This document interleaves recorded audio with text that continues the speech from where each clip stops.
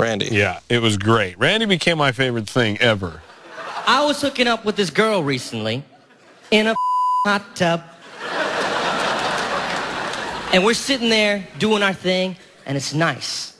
And at one point, she's like, Randy, Randy, Randy, can you go on me?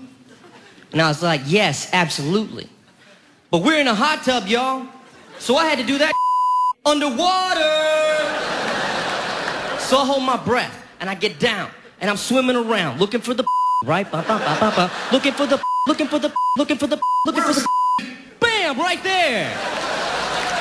And I start doing my thing and I'm doing great.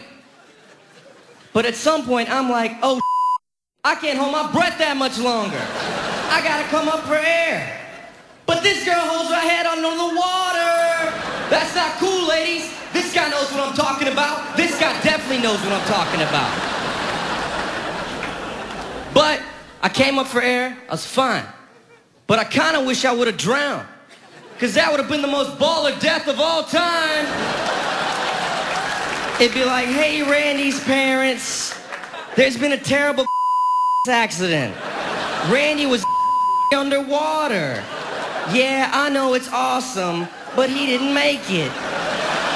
And I had this awesome headstone. It'd be like, here lies Randy. He died while and then there'd be my handprint right there, and you can walk by and the handprint would pop out and give me a high five. Ba-bam, ba-bam, ba-bam, ba-bam. Randy, Honestly, like there is a real separation in my head between Aziz and Randy as Mm-hmm. as as people. Like like to me, Randy exists as a person separate from Aziz. Yes. The other day, I was down at CVS, and I had to get four rather odd products. I had to get a liter of Jack Daniels, a two liter bottle of Coca-Cola, a box of condoms, and a 10 pack of blank CDR discs. Now, I thought it'd be awesome if I bought those same four things every morning at CVS for three months. Just to develop this really odd reputation with the people that work there.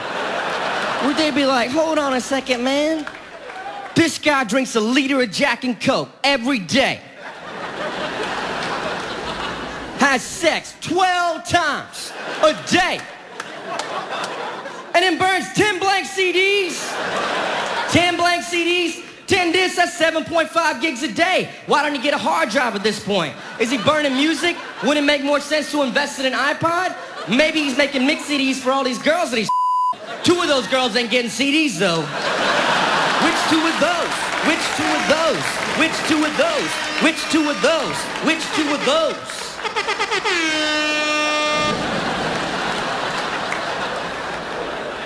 Ain't gonna be no gift bag, Randy.